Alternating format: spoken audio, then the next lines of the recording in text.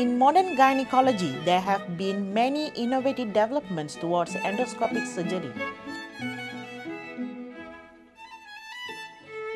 Hysteroscopy is an endoscopic technique not only for diagnosis but also for treatment.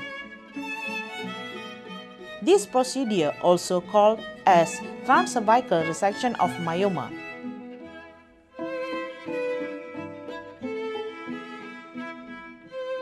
Transcervical resection of myoma is the choice of treatment for submucous myoma with the abnormal uterine bleeding, infertility, and candidates for hormone replacement therapy. Let's join me for the video presentation on procedure of transcervical resection of myoma.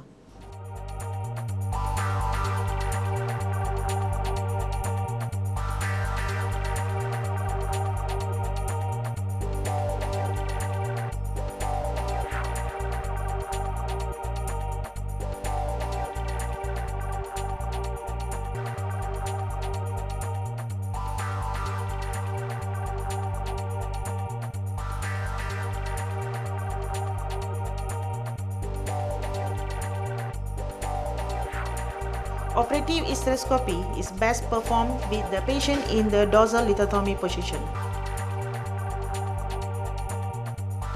Two surgical team members should simultaneously raise both legs of the patient into stirrup to prevent sudden hypotension and lumbar sacral muscle spasm. It's best to have the patient's buttock on the edge of break on the operating table. Okay, the. The second thing is the position here. Okay.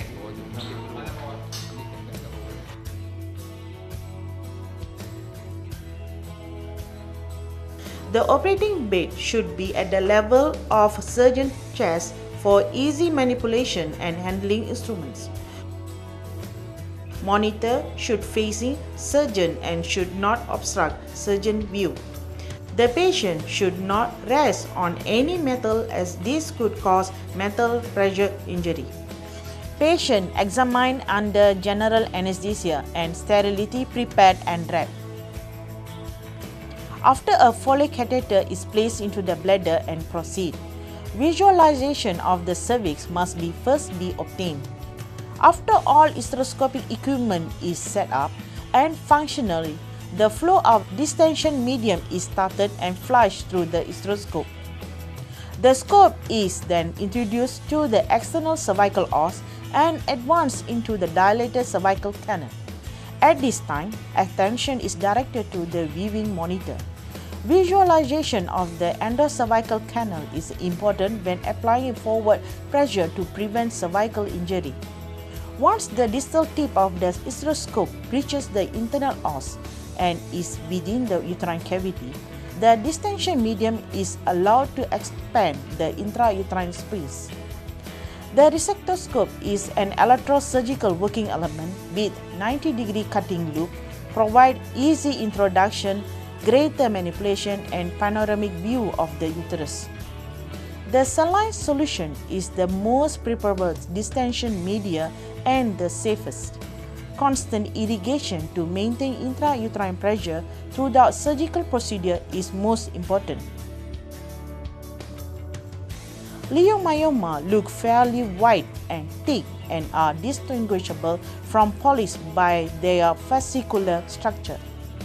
After careful inspection, the resection is performed by placing the electrolytic loop behind the myoma and retracting it towards the distal lens of the hysteroscope. The myoma is systematically shaved off with the resectoscope loop until the pedicle is reached.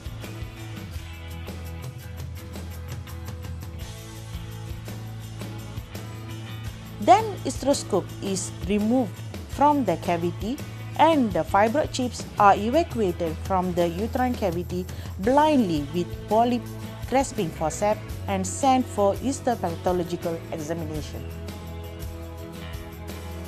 Transcervical resection of myoma is a safe procedure resulting in complication in 0.95 to 3% of cases.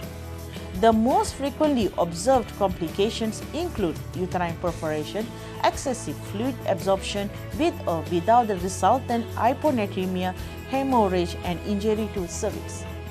The post-operative cost following operative hysteroscopy without the complication is generally unremarkable. Because most operative hysteroscopies are performed in an outpatient setting, patients are able to go home the same day.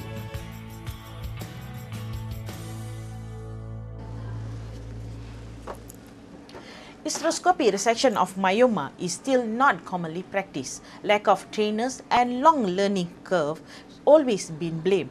Now, it's time to master surgical hysteroscopy for patients who are avoiding hysterectomies.